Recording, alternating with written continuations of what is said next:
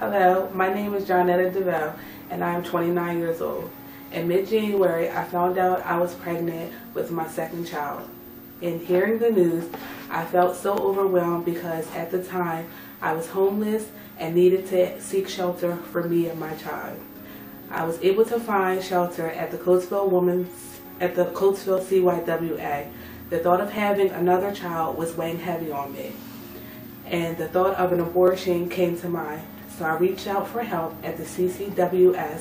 When I came to CCWS, I came with intentions of finding out how far into my pregnancy I, I was to see if abortion was an option.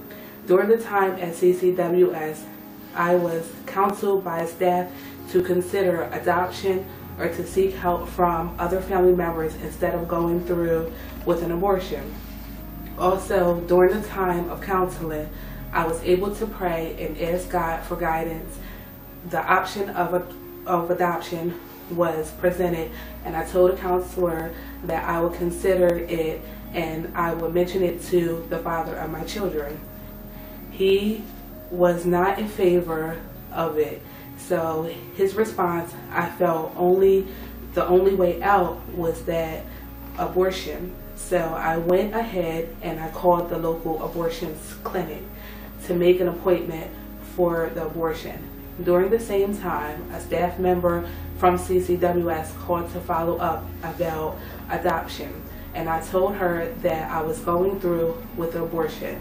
Unknown to me, after the phone call, staff immediately prayed that God would do whatever it took to change my mind.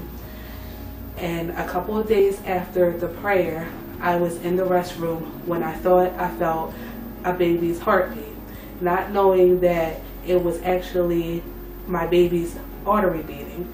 And thinking that I was feeling the heartbeat of my baby, I came to conclusion that I would not go through with the abortion.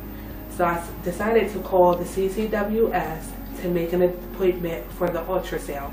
And I informed them that I was not going through with the abortion.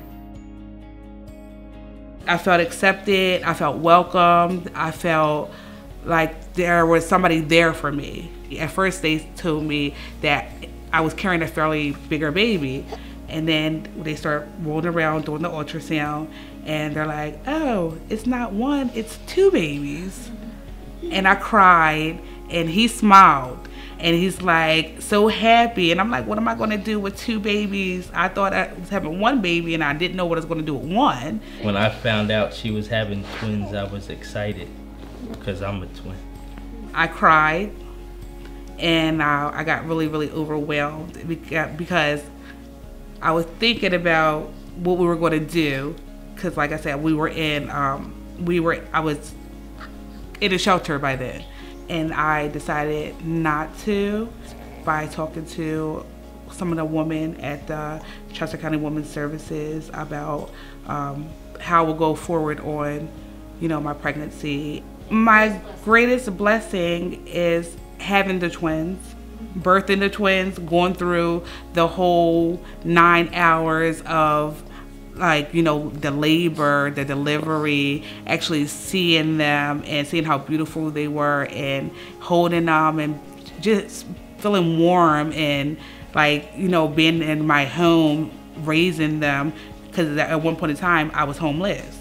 Chester county women's services actually have been a great great source of support supporting me when um, I didn't have diapers, when I didn't have wipes, parenting classes, um, even with clothing.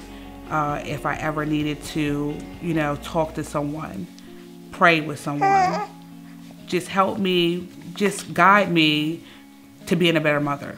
Don't be afraid to talk to someone because there's always someone out there that's going through the same thing as you or worse off than you and there's always help. And to just reach out and just believe in God because he will help you and he will heal you and time is every patience is everything